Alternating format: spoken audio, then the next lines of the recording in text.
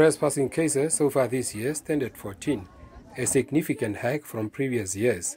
Trans-Kalahari Police Station Commander Inspector Veronica Namses says.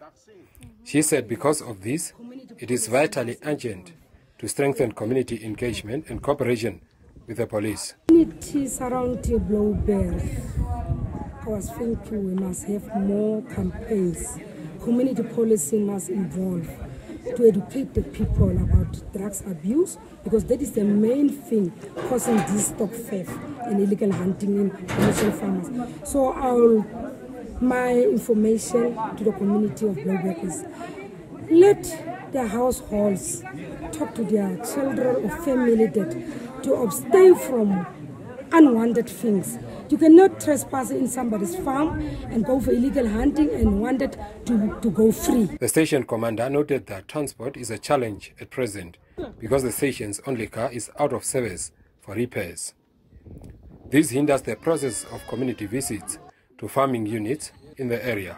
A young upcoming farmer at Blouberg, Julius Twop, says farming has become a serious business for many and that it would serve them well to come together and ensure that challenges like stock theft are addressed. It was a very informative meeting. We're looking to, forward to work with the other farmers, join hands, uh, stop illegal hunting, stock theft.